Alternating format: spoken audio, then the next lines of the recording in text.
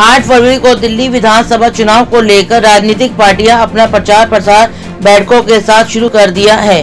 हालाँकि राजनीतिक पार्टियों ने अपने प्रत्याशियों की सूची जारी कर और सभी प्रत्याशी अपना नामांकन भी दाखिल कर चुके हैं।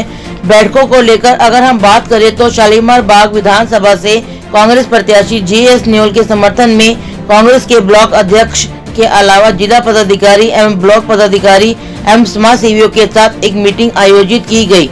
जिसमें इस मीटिंग में आए कांग्रेस के समर्थक एवं कार्यकर्ताओं ने जी एस न्योल का स्वागत किया और चुनाव कार्यालय सोम बाज़ार रोड पर खोला गया। टिकट की घोषणा होने के साथ ये पहली कांग्रेस कार्यकर्ताओं के साथ बैठक थी, जिसमें ब्लॉक अध्यक्ष से लेकर ज़िले के पदाधिकारी उपस्थित थे।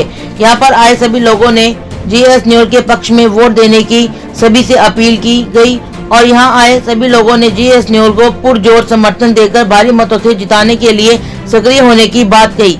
हालाँकि बैठक में जे एस न्योल ने यहाँ पर आए सभी जिला एवं ब्लॉक के पदाधिकारी, कांग्रेस कार्यकर्ता एवं अपने समर्थकों को आश्वासन दिया कि वह जीतने के बाद भी उनके बीच रहेंगे। सबसे पहले मैं आपके बीच में आपके परिवार का छोटा सा कार्यकर्ता हूँ। मैं आपका धन्यवाद करना चाहता हूँ। आपकी से करना अगर आप नीचे से कोई आवाज़ नहीं भेजते डिस्ट्रिक्ट में डिस्ट्रिक्ट से प्रदेश में आवाज़ नहीं जाती, प्रदेश से हाईकमान पे नहीं जाती, हाईकमान को नहीं पता, इतने सालों में तो पता लगा नहीं।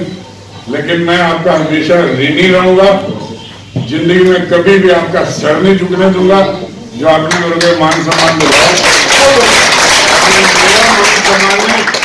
ये आपका मान सम्मान है। ये आपकी इज़्ज़त है। ना मैं कभी आपसे कभी आँख चुराऊँगा मेरे घर के, मेरे दोनों कार्यालय के और मेरे दिल के दरवाजे आपके लिए हमेशा खुले रहेंगे।